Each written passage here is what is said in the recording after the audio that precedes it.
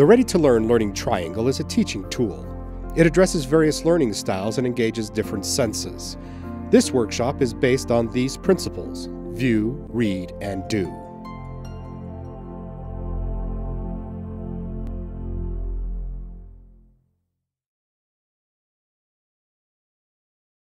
Today we're going to talk about music and how music is not just fun, but it's also educational. In our last workshop or in a previous workshop, we talked about nursery rhymes and the value of nursery rhymes. And music falls into the same categories that nursery rhymes do. They teach phonetic awareness, they teach storytelling, they have the same kind of concepts. But today we're going to move away from those and talk a little bit more about how they can be a little bit more educational. Now, I want you to think of your brain if you can think right now, think of your brain and it is divided in two hemispheres. Isn't that interesting? We have a left hemisphere and a right hemisphere.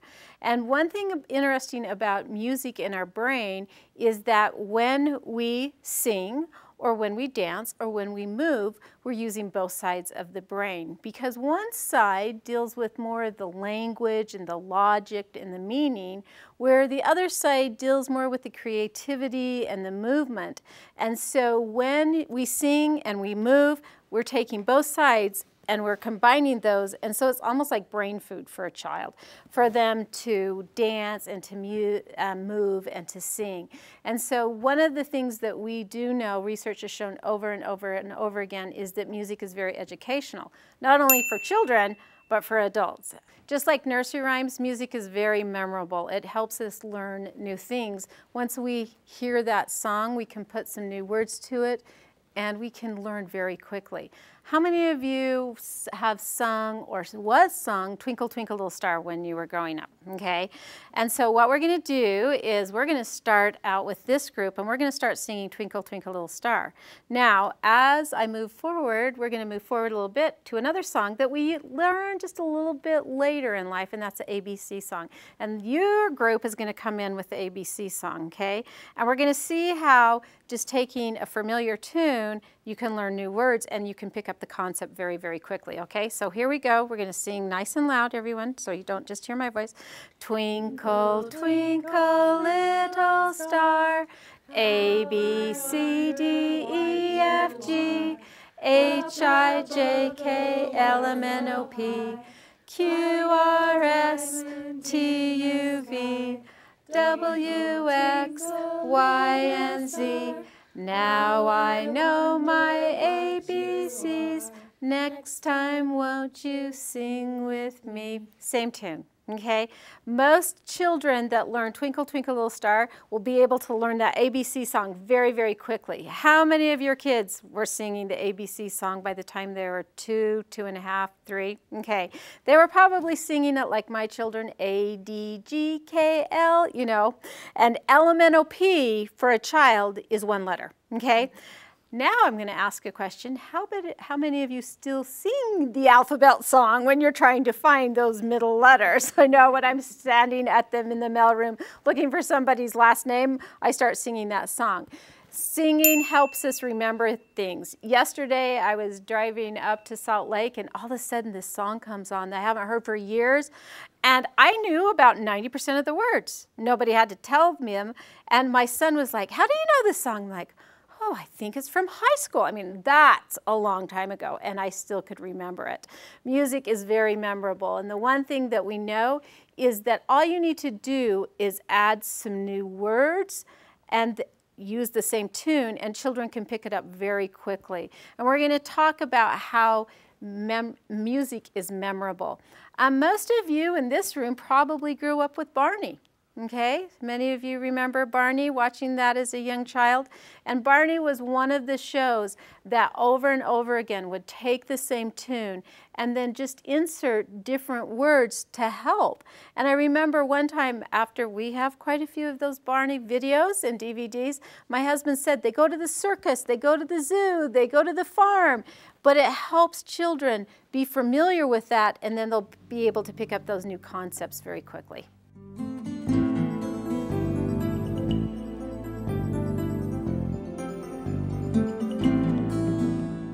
We've talked about how music is memorable and now we're going to experience with what we call the learning triangle. The learning triangle, as you remember, is we watch a program, then we review the clip with the same concept with the book, and then we're going to do an activity. And that's how we take television to make it very educational. And we're going to do that with music being memorable. I talked earlier about how Barney takes different words and puts it into familiar tunes. This next clip you're going to see a very familiar tune, one that most kids grow up with. They're going to give you a lot of uh, sort of like hints to what the tune is, and then we're going to take a word that's very hard to spell and we're never going to misspell it again because we're putting it to music. So we're going to watch Barney spell piano. There was a dog who had a song he played on the piano. P-I-A-N-O, P-I-A-N-O, P-I-A-N-O. He played on the piano. I didn't know you could play the piano, Mr. Boy. Sure I can. I really enjoy it. And it looks like Bingo really likes it, too. Well, he sure does. Right, Bingo?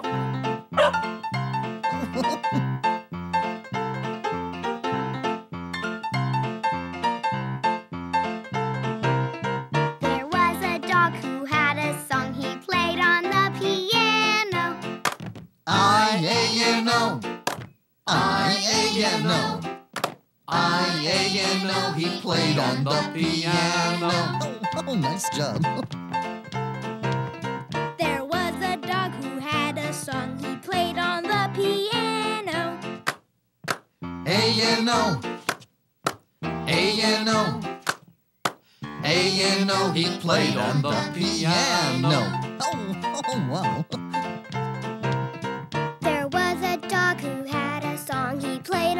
On no, and N-O, N-O, N-O. He played on the piano. Oh, oh, there you go. Okay, you're going to sing that song for the rest of the night. It's so stuck in your head, right? You'll never misspell piano again. But if you think of piano, it is a word that is very easily misspelled because it's not spelled phonetically. Okay, if we sounded it out as piano, so most kids would put that E. And so when we think of Barney taking that particular word, isn't that interesting how well they did that? That they took that B-I-N-G-O and the P-I-A-N-O and it really makes it so children can learn. Now, probably one of my favorite, I cannot tell you how much I love this book. When I first read it, I just loved it because it takes that familiar tune of the wheels on the bus, and in fact, we're going to do the seals on the bus. Now, I'm not singing by myself, so I need everyone to participate as we sing the seals on the bus. Now, some of you probably have never read this book, sung this book, right? So there's probably a few of you. I'm not even going to tell you what to do because it's so easy. You know the familiar tune, and if you usually say around the town, all around the town, you put in what you grew up with because we sing what we know, okay? But just follow me, look at the animals, and sing along. The seals on the bus go erp, erp, erp, erp, erp, erp, erp, erp, erp. The seals on the bus go erp, erp, erp all through the town. The tigers on the bus go roar, roar, roar, roar, roar, roar, roar, roar, roar. The tigers on the bus go roar, roar, roar, all through the town. The geese on the bus go honk, honk, honk, honk, honk, honk, honk, honk, honk. The geese on the bus go honk, honk, honk, all through the town. The rabbits on the bus go up and down, up and down, up and down. The rabbits on the bus go up and down, all through the town. The monkeys on the bus go ee, ee, ee, ee, ee, ee, ee, ee, ee. The monkeys on the bus go ee, ee, ee, all through the town. The vipers on the bus go hiss, hiss, hiss, hiss, hiss, hiss, hiss. The vipers on the bus go hiss, hiss, hiss, all through the town. The sheep on the bus go ba, ba, ba, ba, ba, ba, ba, ba, ba. The sheep on the bus go ba, ba, ba, all through the town. The skunks on the bus go s, The skunks on the bus go all through the town. The people on the bus go help, help, help, help, help, help, help, help, help. The people on the bus go help, help, help, all through the town. Very easy, right? Did, no one messed up at all. Now, what were so many of the similarities? The tune was the first one that we know, but what were some other similarities to the wheels on the bus? Can you think of any? Okay. The vipers said And- hiss instead of the wipers. Yeah, Swish. the vipers, and that's in, they even said in the book, um, "Oh snakes," but it was the vipers on the bus. Anything else? That Teresa, did you see anything that were similar? Well, the chorus was still the same. Okay. Okay, and the rabbits on the bus were up and down. We did the up and down instead of the the babies going bat wow wow. We had the sheep that went ba ba. There and you know it doesn't matter how. Usually a child, you sing this and they can get it right away. In fact, it's just going to be like the wheels on the bus. After you've sung it, read it a couple times, you don't even need the book anymore. And so taking that familiar tune and adding different words. Lots of PBS shows do this. I mean, the most famous, once again, is the Barney Share cleanup song, right? Um, and they just take a tune and put words to it to get kids to actually do things. So that's what we're going to do. We're going to break up into some three groups, and I'm going to give you a familiar tune, and then I'm going to give you an activity that we like our children to do. And you're going to come up with four lines with that particular tune for the activity they give you. Now, if you get jingle bells, you can either do the chorus or you can do the verse. So I'm going to hand these out. Okay, here's a good one. Brush your teeth to. oh, that's a hard one. How about row, row, row your boat? Okay, row, row, row your boat. You know that tune? Okay, so you guys are going to get the jingle bells, and your activity is going to be cleanup time. That's something that we still have problems at our house with. but just have one person write it down. You've got about four minutes to come up with an act, I mean, a song with your activity, and I know you can do it. Okay? Good idea. Oh, perfect idea. Yes, sir, yes, sir, yes, I. Every night and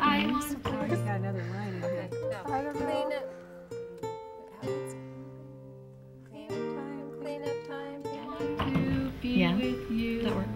Our first group was row, row, row your boat and brush your teeth. So let's all sing this together. Teresa, will you sort of lead us here? Sure. Brush, brush, brush your teeth every night and day. Clean, clean, clean between the top and bottom rows. Wow, a much better way than get your teeth brushed. That's all. okay, this next one is cleanup time, which all kids seem to have a little bit of a hard time doing.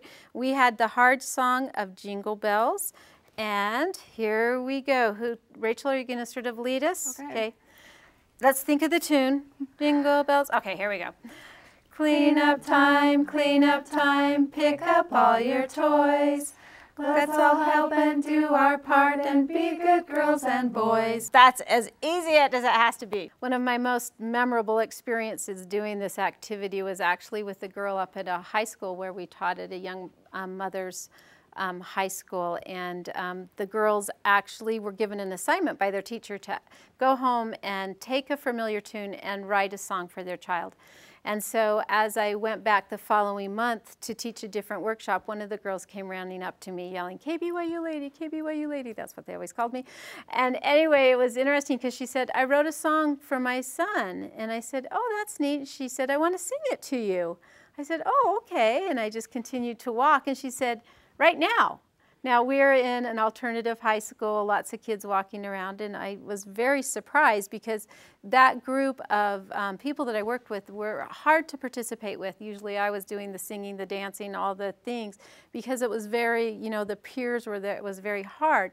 But anyway, that particular day, she wanted to sing this song, and she had taken the tune, Twinkle Little, Twinkle Little Star, and wrote an I Love You song to her son. It was, the words didn't quite rhyme, it, you know, the song didn't stay on tune, but as she sang it, tears welled up in her eyes, and she just said, I love this song. I sing this song to my son all the time. It's our song.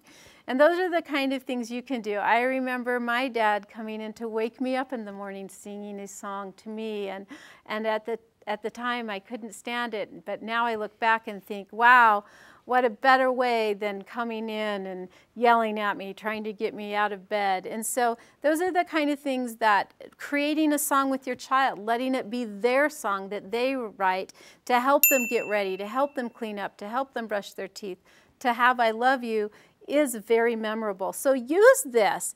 Now, as you saw, we did use the learning triangle. We actually viewed a clip that has a jingle in it. We read the book, The Seals on the Bus, and then you guys did an activity. That's how you can bring it all together with your kids also.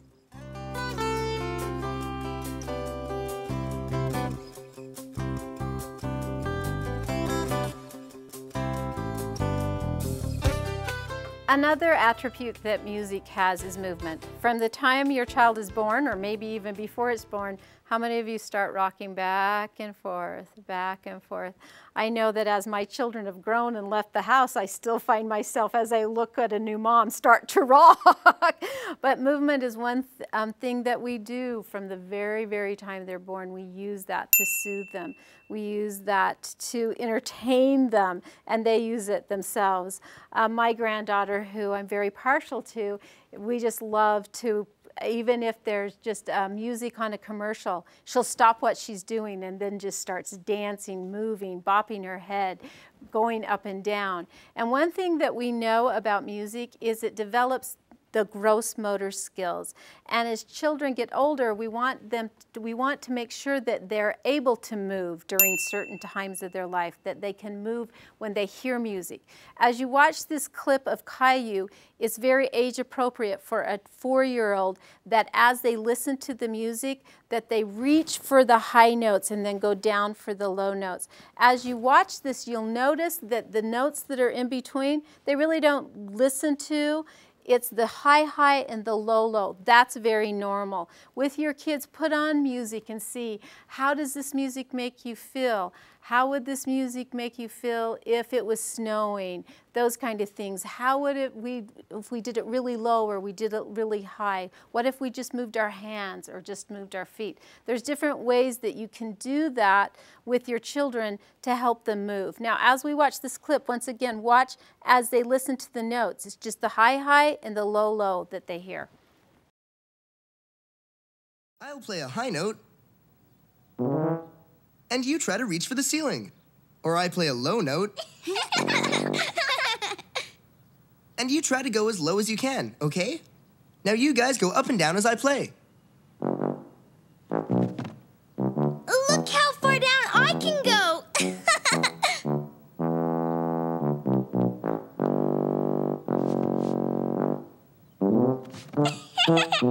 it's a high one. I can reach way up.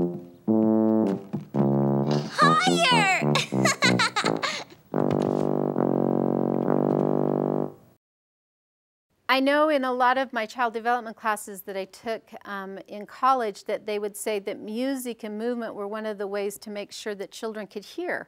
You know, were they able to hear those high notes and check for the audio part of their growth. Another thing that I have learned and I've seen with children is when children can learn to control their bodies, it's the first step, and remember the first step of learning to control their emotions. So when we help them learn to stop and go with music and move to music, they also will be able to learn to control their emotions and their anger and their jealousy, but not until they learn to control their body. So movement seems very natural for children, but it also has a great advantage for you to help them with emotional development too. Now, um, the book that I love that's all about movement is called Saturday Night at the Dinosaur Stomp. Now, this book is a little hard to read and it takes a little bit of practice, but it's got a lot of movement in it. Word went out across the prehistoric slime. Hey, dinosaurs, it's rock and roll time. Slick back your scales and get ready to romp on Saturday night at the Dinosaur Stomp. By the lava beds and the tar pit shore, On the mountain top and the rainforest floor, dinosaurs scrubbed their necks and nails, they brushed their teeth and curled their tails.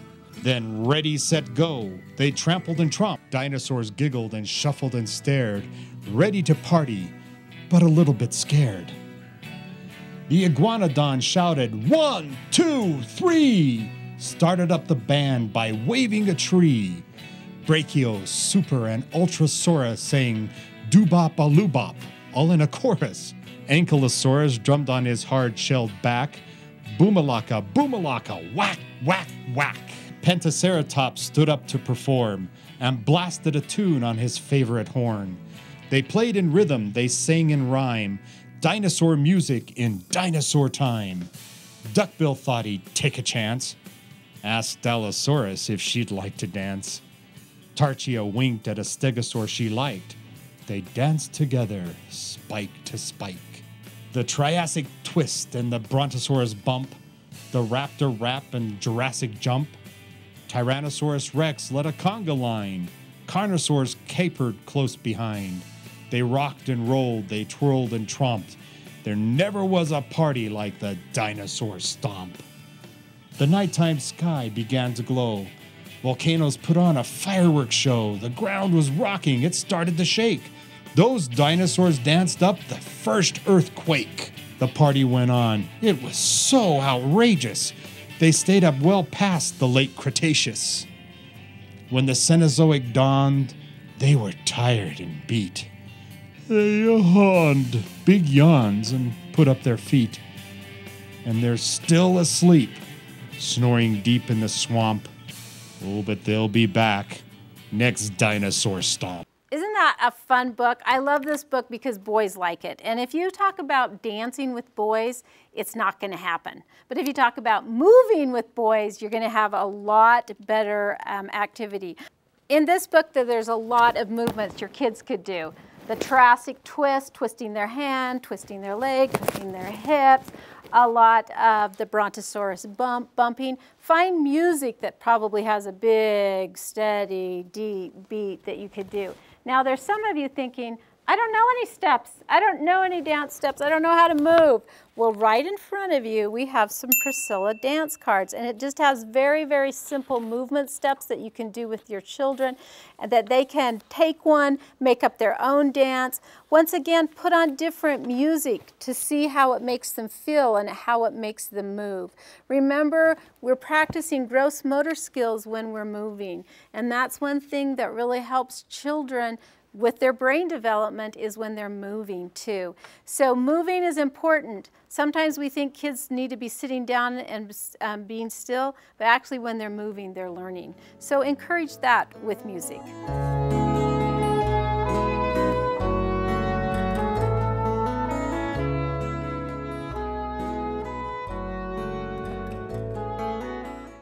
We just got finished talking about movement, and we're going to talk about rhythm. How is rhythm different from movement, Rachel? How is there any um, difference? Movement seems more like it's just like you're moving your body, but rhythm, you have an actual set rhythm that you're moving your body to a specific rhythm. Okay, or pattern. pattern. So a pattern. So each of you in front of you actually have some rhythm sticks. Now, if a child saw these, of course, they would think that they were swords or some type of weapon, but today we're going to use them as a rhythm stick. And it's like Rachel said, that um, um, that rhythm is very different from movement because it has a set pattern. So if we did a pattern of one, two, three, four, one, two, three, four, one, two, three, four. Okay, now let's do that pattern, but on the second beat, let's do a rest.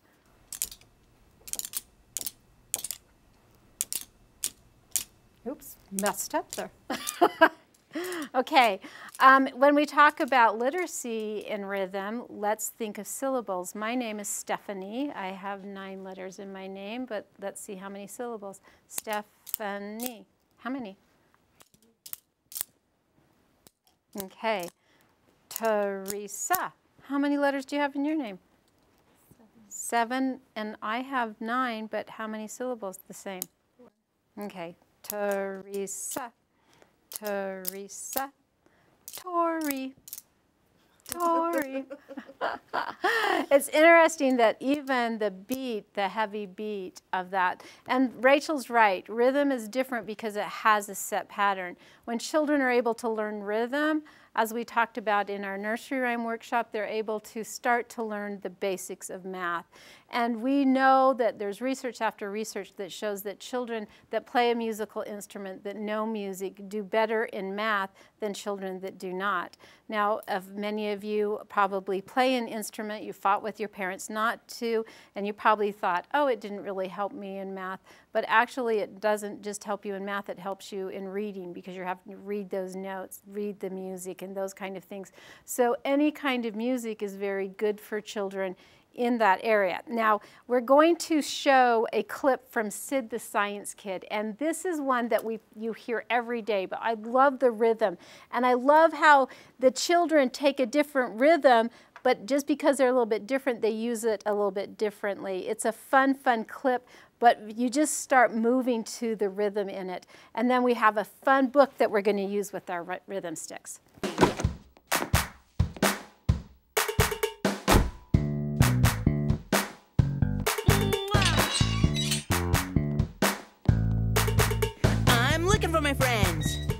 Looking for you. There's Gabriella.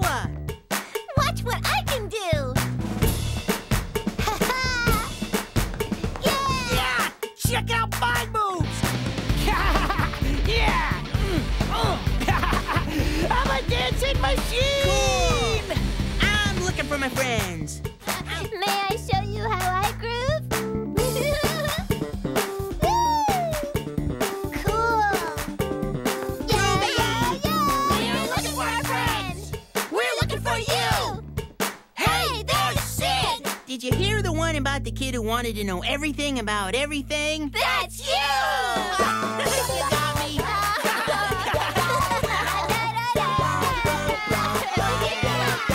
We're our friends. And look what we found. We, we found each other. Friends. Did you hear that steady beat in the in the very back? I'd love to see preschoolers actually move like that. That's not normal, but they're pretty cool. Now, my favorite book with this is called Rap-a-Tap Tap, think of that. And um, as I've gone out to schools and I've been asked to read books, I usually take this one. And I think that when I walk in and I have music sticks for all the kids, the teachers just sort of shake their head at me, oh, like, oh no.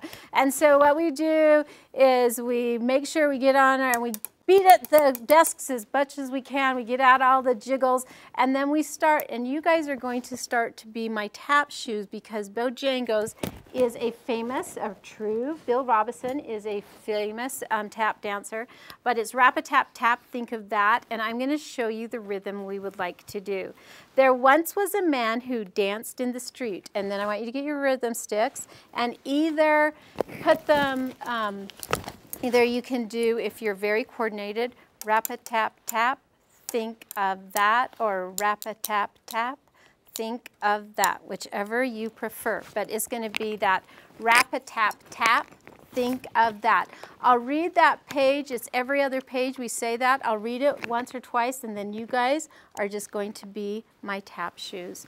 There once was a man who danced in the streets, rap-a-tap-tap, Think of that. He brought pleasure and joy to the people he'd greet. Rap-a-tap tap. Think of that. He didn't just dance, he made art with his feet. He danced past doors, some were open, some were closed. He danced past folks in fancy clothes. He danced through places people called the skids. He danced through crowds of laughing kids. His feet fairly flew as he tipped his hat. He briefly paused to pat an old cat. He danced rain or shine in all kinds of weather. People listened each day for his toe tapping clatter. He danced many rhythms that were seldom the same. Dance was his passion and it brought him fame. Bojangles, Bojangles, that was his name. Okay, Bill Robinson lived in 19, um, 1878 through 1949, and he was the greatest tap dancer. And so this book is actually for him. And I didn't know this until I got this book, but May 25th is considered National Tap Dance Day. So if you guys in May, you tap dance. But there's a lot of different books where you have that rhythm that children can find it. Remember that when a child knows rhythm, they know patterns and it will eventually help them with math and reading skills as they practice it.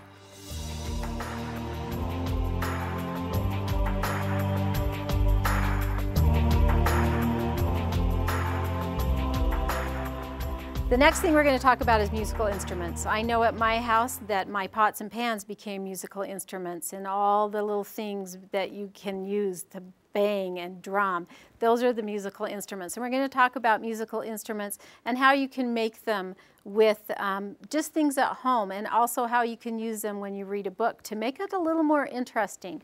Um, in this clip with Caillou, he just finds a paper towel, uh, empty pa paper towel roll, and makes a very cute little horn with it. So we'll watch it as he and his friend use a musical instrument just with a very simple object. Hey, I know. Blah, blah. Let me try.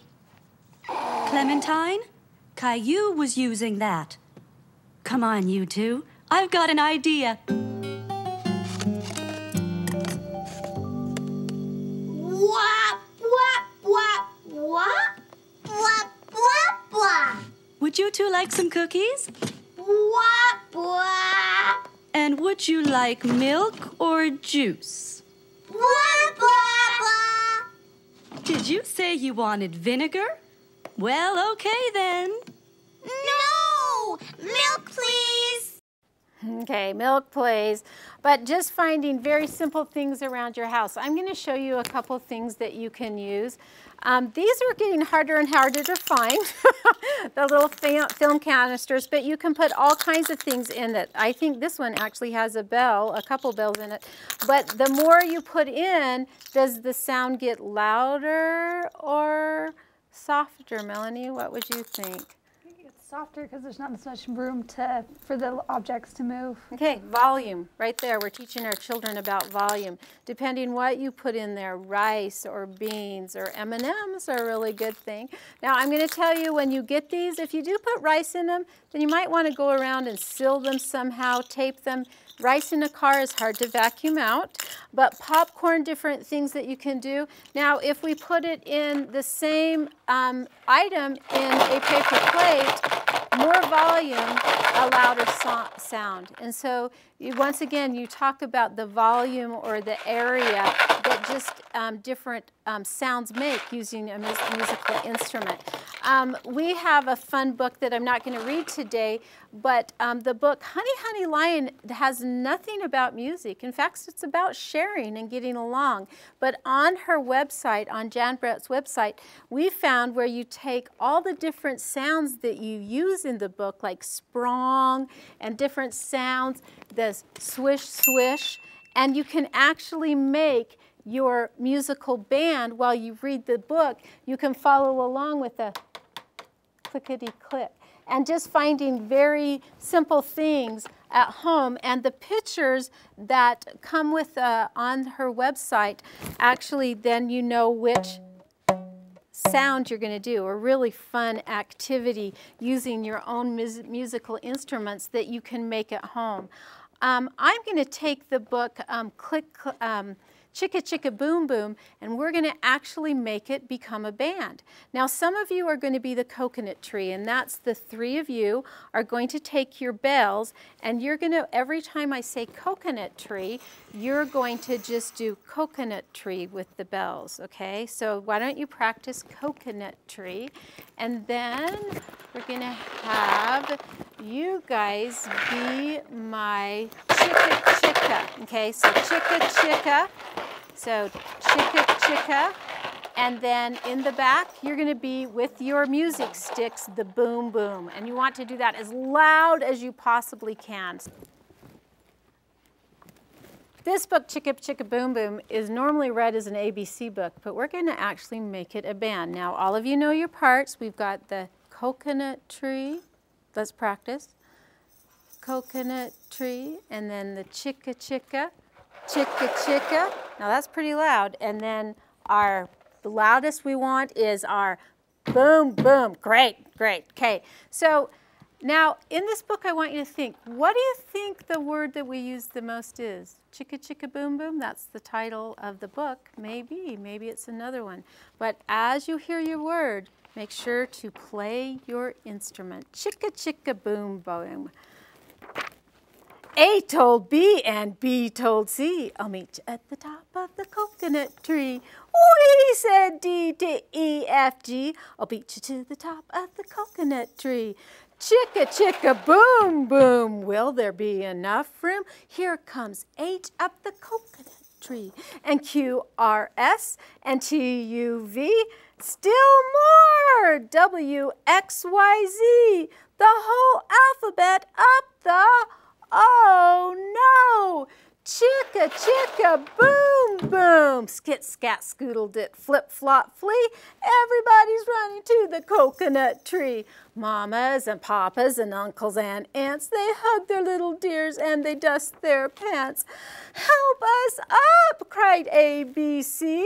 Next from the piled up skinny D and stub-toed E and patched up F. And here comes T all out of breath. H is tangled up with I and J and K are about to cry. L is knotted like a tie. N is looped, and N is stooped, and O is twisted, alley, oop, skit, scat, scoodle, doop, flip, flop, flee. Look who's coming! It's Black-Eyed P and QRS T and UVW wiggle jiggle free. And the last to come is XYZ. And the sun goes down on the coconut tree. But chicka chicka boom boom, look, there's a full moon. A is out of bed, and this is what he said Dare, double dare, you can't catch me. I'll beat you to the top of the coconut tree. Chicka chicka boom boom. Okay, which word did we use the most? The coconut tree by far was the most. You can just take your very simple instruments, take a simple book, use it to make those um, educational, fun, fun moments. As we've talked about music during this workshop, we've seen how music can take something memorable and make it something that you can remember new information.